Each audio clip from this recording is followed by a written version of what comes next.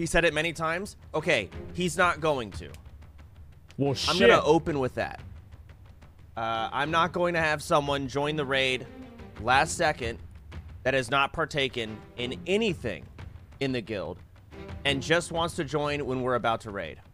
But I'm being told by people that he's saying he's going. No one's told me shit, and no, he's not going to. Okay. Too late for that.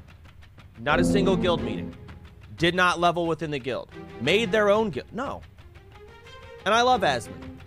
I mean, I, I literally like I'm in an org with him, but no. Okay. Well, I guess I'm not. Well, shit. There it is.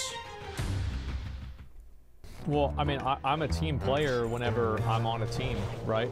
Like, I feel like I'm always a team player. Like, when am I not a team player? Never. I'm always a team player.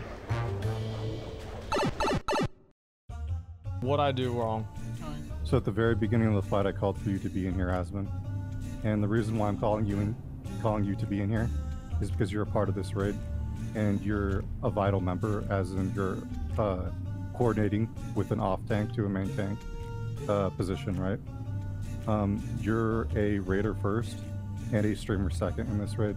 I'm raiding, even though like I enjoy your streams, right?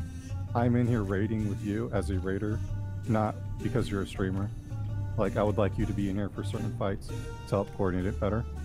That's it. Well, here I am. I mean, Yeah. I think That- we had a problem with you taunting off the fight or something like that. No, at a I did nothing point. wrong.